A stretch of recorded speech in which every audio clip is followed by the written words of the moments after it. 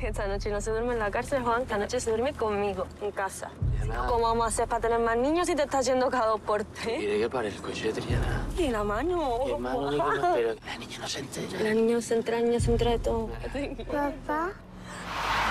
Si me das a elegir entre tú y la gloria, pa' que hable la historia de mí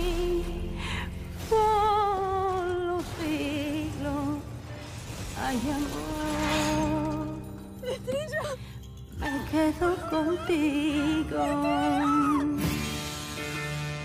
Creemos que el coche que chocó con el suyo puede estar relacionado con un robo a unos rumanos. ¿Te la has visto la cara a mi niña?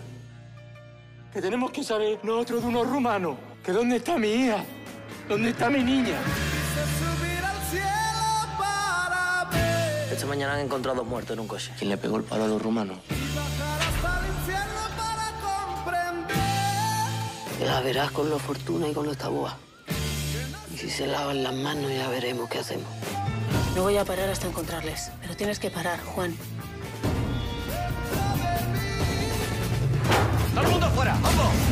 Eli, nunca te fíes de un Santos. Más chavales que lo que está haciendo no avergüenza a mi niña.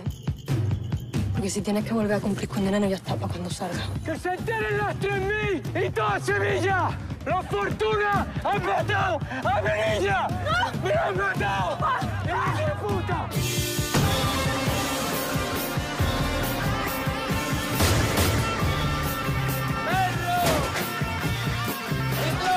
Ustedes no sabéis de lo que es capaz una madre.